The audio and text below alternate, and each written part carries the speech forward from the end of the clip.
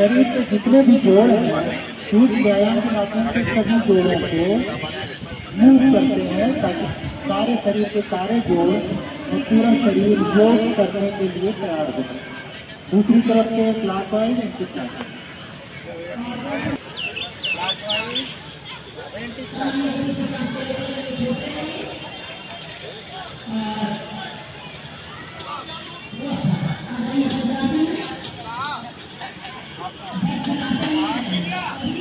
को राउंड करेंगे।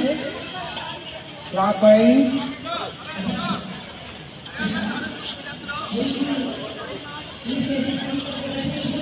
Anti clockwise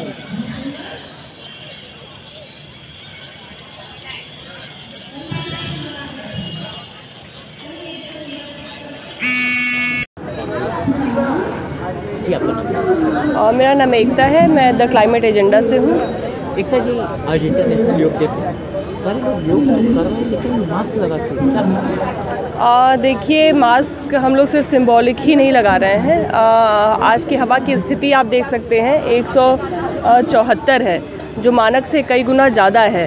और अगर ये माना जाता है कि अगर आप अशुद्ध हवा में कोई भी एक्सरसाइज करते हैं, चाहे योगा हो या कोई भी फ़िज़िकल एक्सरसाइज करते हैं तो आप ज़्यादा हवा लेते हैं और फेफड़े में आपके प्रदूषित हवा जाती है। तो हम ये कहना चाहते हैं कि हम लोगों ने अभी दो दिन पहले जो है सेंट्रल पोल्यूशन कंट्रोल बोर्ड को एक लेटर दिया था, ये कहते हुए कि लाखों लोग जो हैं योगा डे पे योगा करने वाले हैं। तो वो कुछ मेजर्स लें और इतने स्ट्रिक्ट मेजर्स लें ताकि आज के दिन जो योगा कर रहे हैं वो अशुद्ध हवा न लें, लेकिन अभी तक उनकी तरफ़ से कोई स्टेप नहीं लिया गया है।